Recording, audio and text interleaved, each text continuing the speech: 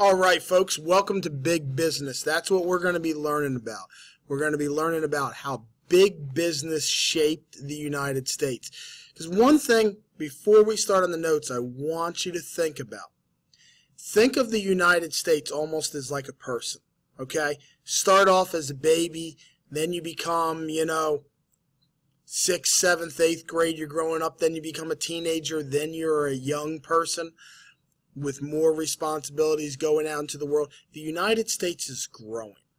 It's spreading out in area and it's changing the way that it lives. When we started with the revolution, we were mainly a farming country. And you're going to see how things are going to be changing. Okay, so keep that in mind that you're looking at the growth of America. This is natural resources, transportation, and industrial development after the year 1877.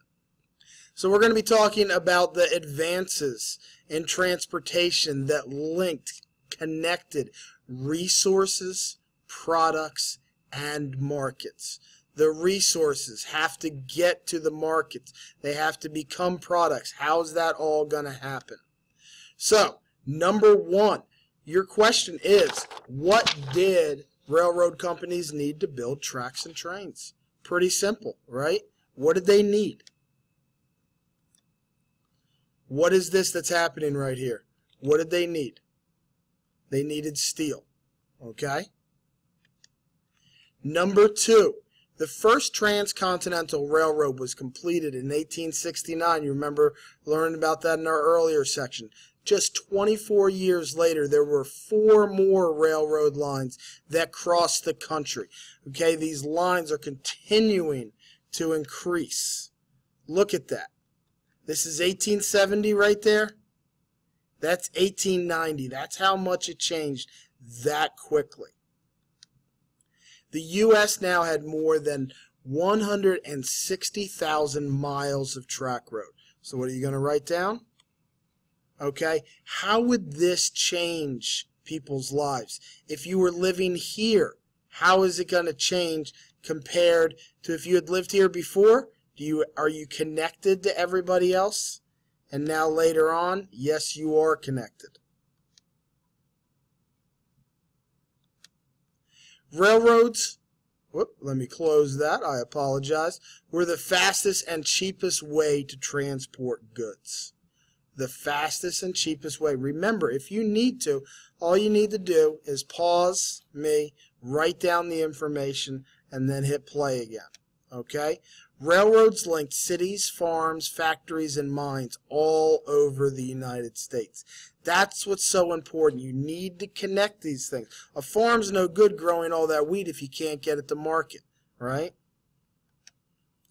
Number six, what did rail, new railroad lines do for the U.S.? New railroad lines allowed businesses to make more money and help the U.S. economy to grow. Businesses made more money. You get more businesses people working for them. People are going to get paid, right? Railroads allowed natural resources to be moved to eastern factories like iron ore to steel mills in Pittsburgh, Pennsylvania. So when you hear Pittsburgh, think the football team. What is it? The Steelers. Why? Because that's where they made steel. Okay? Example there, we've got Pittsburgh. See, they're making steel there. A lot of fire, a lot of heat. Railroads allowed for finished products to be transported to national markets, such as textiles and clothing from New England.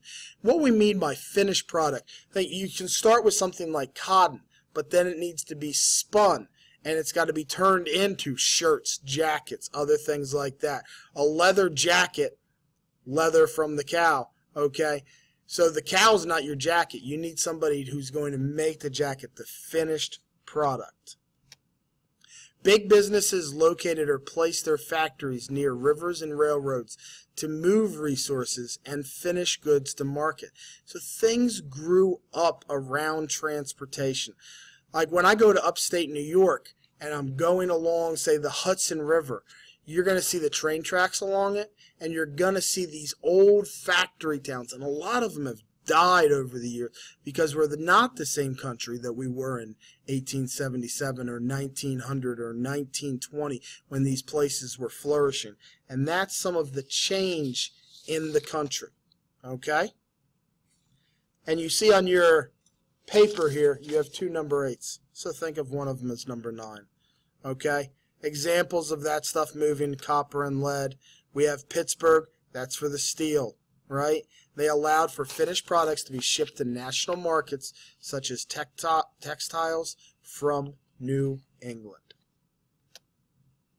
This is just a look. You can see here in 1835, that's how much railroad tracks. By 1890, you see how much it has changed and increased. Okay?